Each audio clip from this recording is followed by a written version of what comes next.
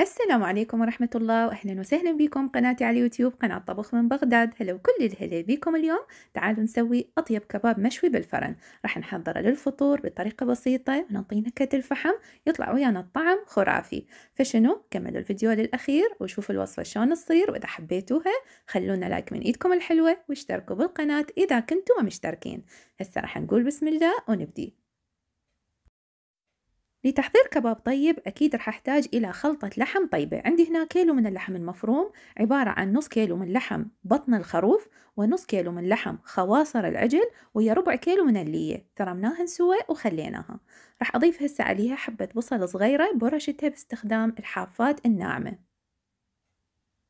راح أضيف أيضا كمية من المعدنوس إذا تحبون تخلون كرفس حسب رغبتكم. ترمتها كلش ناعم وضفتها فوق الخلطة مالتنا ملعقة طعام كبيرة من الطحين طحين أبيض طحين أسمر ما يأثر. راح أضيف أيضا كمية من الملح ورشة من الفلفل الأسود وأبدي أعجن. عجينة الكباب تحب تنعجن كلش هواية إلى أن يوصل مرحلة اللحم يصير بيه مثل الخيوط. فضروري تعجنون عجينة الكباب كل زين على مود تتماسك وياكم ومن تشووها سواء على المنقلة أو بالفرن آه، أو على الجريل يعني بالطاوة ما تتفتفت وياكم وما توقع من الشيش إذا راح تشووها على المنقلة. فلازم تعجنون العجينة كل زين وتوصل وياكم مرحلة مثل ما قلت لكم إلى أن تبين عندكم خيوط اللحم. فهاي الخطوة كلش مهمة. على مود عندكم عجينة الكباب تتماسك. بعد أن نعجن عجينة الكباب كل زين ضروري ندخلها للثلاجة على مود تبرد وترتاح. أقل شي فد نصف ساعة قبل ما نبدي نشكل الكباب.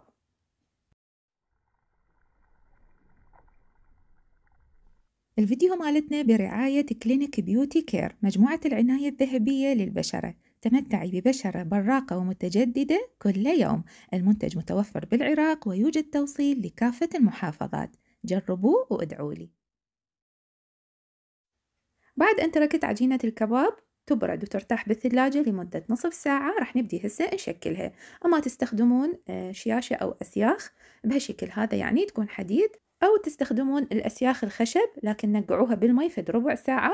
يلا تشكلون عليها الكباب أو إذا راح تشوها يعني بالفرن تقدرون تستخدمون الملعقة وتشكلون عليها آه، الكباب بهالشكل هذا اللي تشوفوه طبعا أني مو محترفة بتشكيل الكباب يعني أكيد أني مو مثل الكبابتي آه، لكن يعني بهالشكل هذا تقدرون أنتوا تشكلون الكباب وأكيد كل واحد يعني ومهارته بهذا الموضوع. الخلطة هذه مالت الكباب تنفع أنه تشوها على المنقلة أو تشوها بالفرن أو تشوها بالطاوة على الطباخ. كل الطرق يعني ترهم.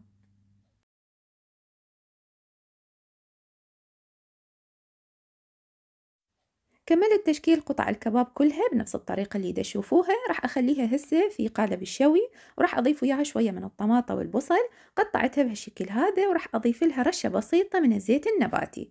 راح أخذ هسه القالب مالتي وأدخله إلى فرن محمي بأعلى درجة حرارة بالفرن. لازم تكون درجة حرارة الفرن كلش عالية على مود قطع الكباب تبقى محافظة على السوائل والدهن الموجود بداخلها وما تصغر ويتغير حجمها كلش هواية وتفقد كل السوائل والدهون الموجودة بداخلها وبالتالي يطلع عندكم الكباب ناشف. فأرجع وأكد أنه حرارة الفرن لازم تكون أعلى ما يكون. شغلت الشوايتين بنفس الوقت إلى أن أخذت ويانا قطع الكباب. هذا اللون الحلو. بعدين جبت فحمة جمرتها ضفت عليها شوية من الزيت النباتي وغلفت القالب لمدة دقيقة واحدة فقط. بس على مود ياخذ نكهة الفحم ويطلع عندنا كباب يجنن. تمنيته قدامكم أصدقائي ريحته وطعمه كلش كلش طيب. ومثل ما شفتوا بقت القطع محافظة على شكلها تقريبا. هو لازم يصغر شوية لازم حتى لو شوينا على المنقلة بس أكيد مو زيادة عن اللزوم يعني آه، لأنه معناه فقد كل السوائل والدهون الموجودة بداخله ويطلع وياكم ناشف. راح أضيف له رشة من السماق أو السماق وللطماطم نضيف شوية من الملح وصار عندنا أطيب مشاوي بطريقة بسيطة وطعم طيب. تعالوا نحضر أطيب مقبلات ممكن نقدمها ويا المشاوي وهي متبل الباذنجان. راح أجيب حبة من الباذنجان غسلتها وثقبتها بهالشكل هذا وراح أبدي ألفها باستخدام ورق الفويل أو الألمنيوم. قطع الباذنجان هذه ممكن تشووها بالفرن بأعلى درجة حرارة أو ممكن تشووها بهالشكل هذا تخلوها على الطباخ. براحتكم اختاروا الطريقة اللي تعجبكم. أنا شويتها بالفرن أخذت وياي تقريبا نصف ساعة على أعلى درجة حرارة إلى أن وصلت وياي لهاي المرحلة. لازم قطع الباذنجان عندكم تستوي بالكامل وتكون طرية بحيث أقدر بسهولة آه، أهرسها وأستخدمها بتحضير مقبلاتنا اليوم. هذا هو شكلها بعد أن طلعتها من الفرن. راح أفتحها بهالشكل هذا وأتركها إلى أن تبرد تماما. بعد أن تبرد تماما راح أبدي بهالشكل هذا أشيل لب الباذنجان وأفصله عن القشر وأخليه في محضرة الطعام.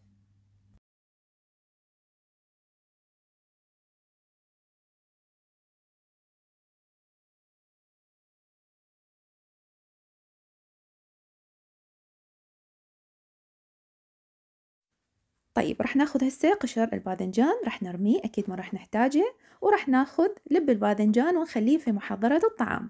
راح أضيف عليه ملعقة طعام كبيرة من اللبن الزبادي أربع ملاعق طعام كبار من الراشي أو الطحينة. حضيف أيضا فص صغير من الثوم وإضافة اختيارية. إذا ما حبيتوا تضيفوه تقدرون تستغنون عنه.